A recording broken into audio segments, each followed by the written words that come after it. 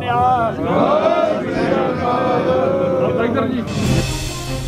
ਪੰਜਾਬ ਵਿਧਾਨ ਸਭਾ ਦੇ ਸਾਬਕਾ ਸਪੀਕਰ ਤੇ ਸਾਬਕਾ ਵਿਧਾਇਕ ਵੀਰ ਦਵਿੰਦਰ ਸਿੰਘ, ਸ਼੍ਰੋਮਣੀ ਅਕਾਲੀ ਦਲ ਟਕਸਾਲੀ ਵਿੱਚ ਸ਼ਾਮਲ ਹੋ ਗਏ ਹਨ। ਜਲੰਧਰ 'ਚ ਟਕਸਾਲੀ ਅਕਾਲੀ ਆਗੂ ਰਣਜੀਤ ਸਿੰਘ ਬ੍ਰਹਮਪੁਰਾ, ਰਤਨ ਸਿੰਘ ਅਜਨਾਲਾ ਤੇ ਸੇਵਾ ਸਿੰਘ ਸੇਖਵਾਂ ਦੀ ਮੌਜੂਦਗੀ ਵਿੱਚ ਉਹਨਾਂ ਨੇ ਟਕਸਾਲੀ ਅਕਾਲੀ ਦਲ ਵਿੱਚ ਸ਼ਮੂਲੀਅਤ ਕੀਤੀ ਹੈ। ਵੀਰ ਦਵਿੰਦਰ ਸਿੰਘ 1967 ਵਿੱਚ ਬਤੌਰ ਸਿੱਖ ਸਟੂਡੈਂਟ ਫੈਡਰੇਸ਼ਨ ਦੇ ਪ੍ਰਧਾਨ ਵਜੋਂ ਸਿਆਸਤ ਵਿੱਚ ਸ਼ਾਮਲ ਹੋਏ ਸਨ। ਟਕਸਾਲੀ ਅਕਾਲੀ ਦਲ ਵਿੱਚ ਸ਼ਾਮਲ ਹੋਣ ਬਾਰੇ ਵੀਰ ਦਵਿੰਦਰ ਸਿੰਘ ਨੇ ਕਿਹਾ ਕਿ ਉਹ ਸਿਆਸੀ ਗਲਿਆਰੇ ਵਿੱਚ ਮੌਜੂਦ ਖਾਲੀ ਥਾਂ ਭਰਨ ਅਤੇ ਪਾਰਟੀ ਨੂੰ ਹੋਰ ਤਾਕਤਵਰ ਬਣਾਉਣ ਲਈ ਟਕਸਾਲੀ ਅਕਾਲੀ ਦਲ ਵਿੱਚ ਅੱਜ ਸ਼ਾਮਲ ਹੋਏ ਹਨ।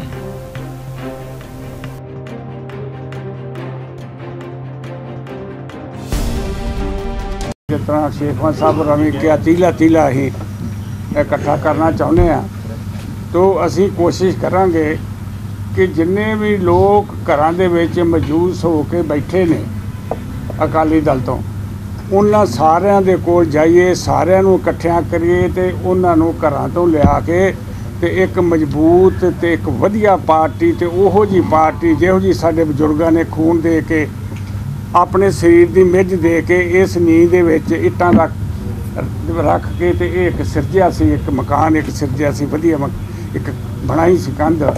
ਉਹੋ ਜਿਹਾ ਇੱਕ ਮਜ਼ਬੂਤ ਜਿਹੜਾ ਪਾਰਟੀ ਆ, ਉਸੇ ਤਰ੍ਹਾਂ ਦੀ ਬਣ ਸਕੇ। ਜੋ ਹਾਲਾਤ ਨੇ, ਮੈਂ ਉਹਦੇ ਬਾਰੇ ਘੜੀ ਮੁੜੀ ਅਸੀਂ ਦੱਸੀਏ। ਤੇ ਉਹ ਕੀ ਦੱਸ ਸਕਦੇ ਆ? ਜੋ ਹਾਲਾਤ ਹੈਗੇ ਨੇ, ਉਹ ਸਾਰੇ ਤੁਸੀਂ ਜਾਣਦੇ ਜੋ। ਮੈਂ ਇਹਨਾਂ ਨੂੰ ਵੈਲਕਮ ਕਰਦਾ ਪਾਰਟੀ ਦੇ ਵਿੱਚ ਆਉਣ ਤੇ। ਤਾਂ ਸਰਦਾਰ ਵੀਰ ਦਵਿੰਦਰ ਸਿੰਘ ਜੀ ਨੇ ਵੀ ਅੱਜ ਸ਼੍ਰੋਮਣੀ ਅਕਾਲੀ ਦਲ ਟਕਸਾਲੀ ਜਿਹੜਾ ਜੁਆਇਨ ਕੀਤਾ। ਤੇ ਮੈਂ ਇੱਕ ਹੋਰ ਅਨਾਉਂਸਮੈਂਟ ਕਰਨੀ ਚਾਹੁੰਦਾ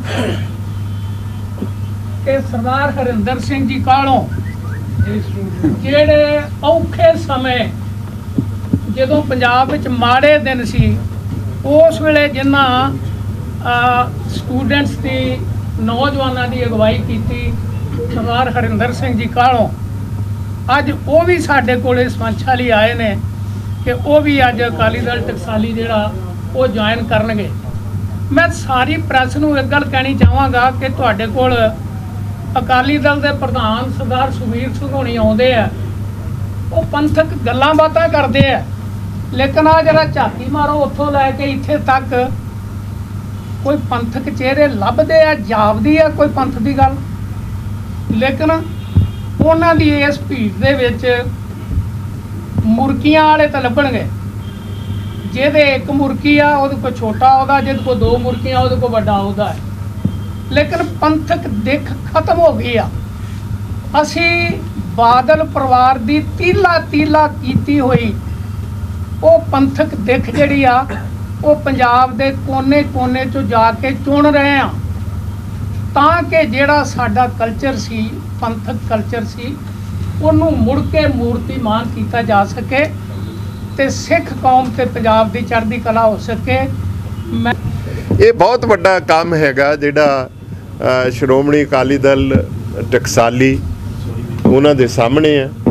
ਇਹ ਸਾਰੀ ਗੱਡੀ ਨੂੰ ਮੁੜ ਕੇ ਲੀਹ ਤੇ ਲਿਆਉਣਾ, ਪੰਜਾਬ ਦੀ ਰਾਜਨੀਤੀ ਨੂੰ ਸਹੀ ਸੇਧ ਦੇਣੀ ਔਰ ਸ਼੍ਰੋਮਣੀ ਗੁਰਦੁਆਰਾ ਪ੍ਰਬੰਧਕ ਕਮੇਟੀ ਨੂੰ ਇੱਕ ਟੱਬਰ ਦੇ ਚੁੰਗਲ ਚੋਂ ਆਜ਼ਾਦ ਕਰਾ ਕੇ ਸਾਰੀ ਸਿੱਖ ਸੰਗਤ ਦੇ ਸਪੁਰਦ ਕਰਨਾ ਔਰ ਲੋਕ ਸਭਾ ਅਸੈਂਬਲੀ ਵਿੱਚ ਸਹੀ ਕਿਸਮ ਦੀ ਨੁਮਾਇੰਦਗੀ ਦੇਣੀ ਔਰ ਮਾਫੀਆ ਡੌਨਸ ਤੋਂ ਵੀ ਪੋਲਿਟੀ ਨੂੰ ਲਿਬਰੇਟ ਕਰਨਾ, ਇਹ ਬੜੀਆਂ ਵੱਡੀਆਂ ਚੁਣੌਤੀਆਂ ਨੇ।